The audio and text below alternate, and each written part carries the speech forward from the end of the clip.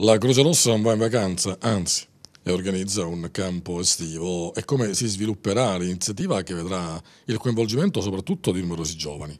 Sì, Campo Giovani è un'iniziativa promossa da Croce Rossa Italiana in partnership con il Ministero della Gioventù e del Servizio Civile Nazionale, il quale ogni anno finanzia dei campi al quale parteciperanno dei giovani dai 14 ai 20 anni provenienti da tutta Italia per far assaporare quelle che sono le attività che ogni giorno i giovani di Croce Rossa portano avanti in tutto il territorio nazionale.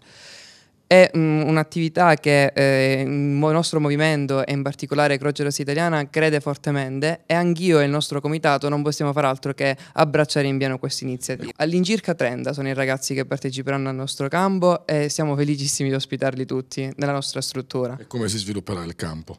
Il campo è diviso per aree tematiche, ogni giorno si tratterà un argomento tipico tra quelli che i giovani di Croce Rossa ogni, ogni giorno nelle piazze eh, portano a termine. Tra questi la lotta all'omofobia, al pregiudizio, all'educazione alle malattie sessualmente trasmissibili, alla sicurezza stradale e molto altro. Ma l'iniziativa si svilupperà all'interno di quattro mura oppure andrete in strada? No, le, il campo di, eh, di, per sé è all'interno della nostra struttura, la sede di Croce Rossa Italiana, ma durante la settimana ci sposteremo per attività ludiche e eh, allo stesso tempo eh, educative, quali l'Acqua Park, nella quale fare, faremo un'attività di ehm, campagna al, contro, le ondate, contro il, le ondate di calore o al mare nelle nostre spiagge di Gela.